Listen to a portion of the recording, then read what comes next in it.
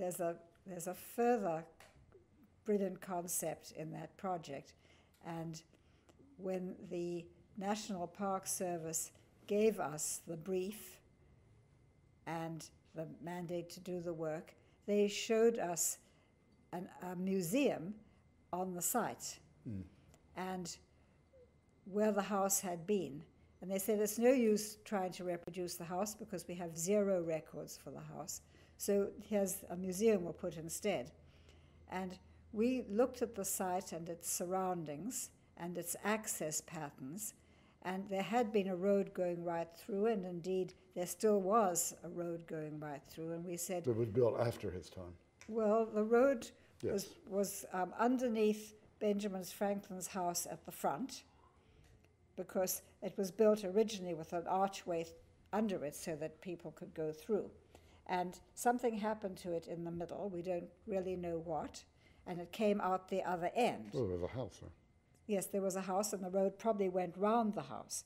And then it came out the other end because there was an alley at the back. The point being that it had become, or it could be, because it was all opened up and there was nothing there, it could be a way through as it had once been um, when they r- removed Benjamin Franklin's house and put other housing there. And I suggested that it still be maintained as a road because they had already said that the museum um, didn't uh, shouldn't have windows at all. So they said, why shouldn't you put the museum underground? And to our great joy, every time we go there, we see it being used as a shortcut. We see people coming in and sitting in the beautiful neo-colonial furniture that um, Bob has um, put in there. In fact, he made the furniture um, um, bigger than colonial and it looks a bit Edwardian, but it's for the scale of a public rather than a private use. This has always influenced us the notion of what you do for public that needs to be sturdier and, in this case, more civic than something that's private.